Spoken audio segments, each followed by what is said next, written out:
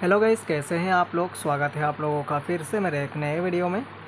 आज मैं आप लोगों को बताऊँगा गाइस कि Samsung Galaxy M thirty five five G phone में आप लोग फास्ट चार्जिंग कैसे कर सकते हो।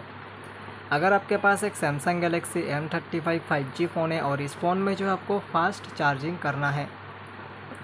अगर आपके फ़ोन में जो है फास्ट चार्जिंग नहीं हो रहा है बहुत ही धीरे धीरे करके चार्ज हो रहा है आपने जो फास्ट चार्जर भी यूज़ किया हुआ है, उसके बाद आपका फ़ोन जो है फास्ट चार्जिंग सपोर्ट भी करता है थोड़ा सा लेकिन बहुत ही जो है स्लो करके चार्ज हो रहा है। तो कैसे आप लोग अपने इस फ़ोन में फास्ट चार्जिंग कर सकते हो गाइस तो आज के वीडियो में मैं ही बताऊँगा आप लोगों को।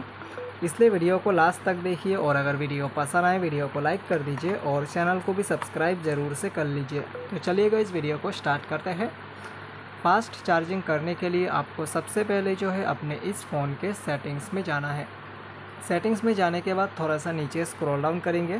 तो आपको एक ऑप्शन देखने को मिलेगा इस बैटरी का। तो इस बैटरी के ऑप्शन पर क्लिक कर दीजिए।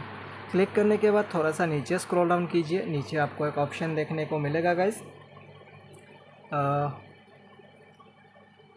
चार्जिंग सेटिंग्स का। तो इस चार्जिंग सेटिंग्स के ऑप्शन पर क्लिक करेंगे। क्लिक करते ही यहाँ पर एक फास्ट चार्जिंग का ऑप्शन मिलेगा। अगर ये आपके फ़ोन में कुछ इस तरीके से ऑफ़ रहेगा तो आपके फ़ोन में फास्ट चार्जिंग सपोर्ट ही नहीं करेगा। आपको इसको ऑन करना है। ऑन करने के लिए इस पर क्लिक कर देना है। क्लिक करते ही जो फास्ट चार्जिंग का ऑप्शन ऑन हो जाएगा और ऑन होने के बाद आपके फ़ोन में फास्ट चार्जिंग जो है होने लग जाएगा। फिर भी नहीं हो रहे तो आप लोग अपने फ़्लाइट मोड को ऑन कर लीजिए। उसके बाद चार्ज में लगा दीजिए। आपके फ़ोन में फास्ट चार्जिंग होने लगेगा।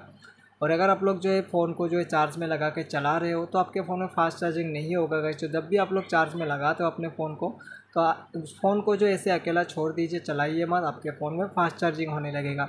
तो कुछ इस तरीके से आप लोग अपने Samsung Galaxy M thirty five five G phone में आप लोग फास्ट चार्जिंग कर सकते हो। तो कैसा लगा इस आप लोगों को ये वीडियो अगर वीडियो पसंद आया हो तो वीडियो को लाइक कर दीजिए और चैनल को भी सब्सक्राइब ज़रूर से कर लीजिए। मिलते हैं कल एक नेक्स्ट वीडियो में, तब तक के लिए बाय